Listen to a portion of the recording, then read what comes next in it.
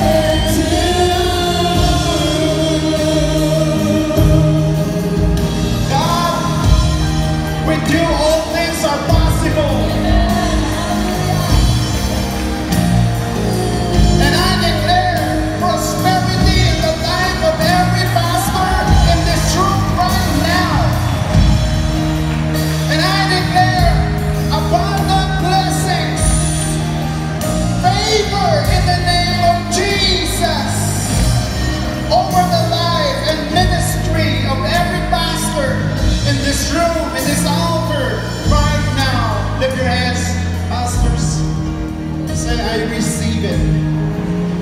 In the name of Jesus, I receive your favor, God. I receive your blessing, God. Even in the midst of difficulty, I will prosper. In the name of Jesus, everybody's shouting. Amen.